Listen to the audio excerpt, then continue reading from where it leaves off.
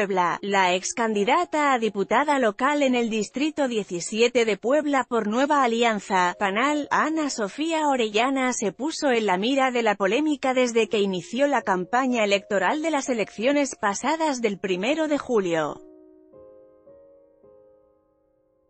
También puedes leer, busca ser diputada y para lograrlo hace campaña en Tinderia que de acuerdo con lo publicado por el debate, la joven política lanzó parte de su campaña a través de Tinder, una red social que sirve para concretar citas y ligar.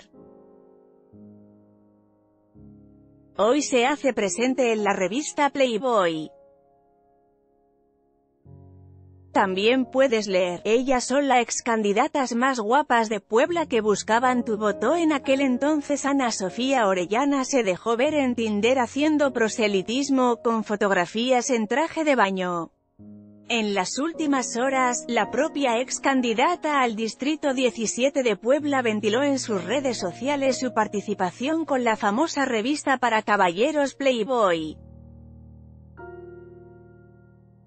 En su cuenta oficial de Twitter publicó un video, mismo que acompañó con un texto el cual anunciaba ser la invitada de Playboy México.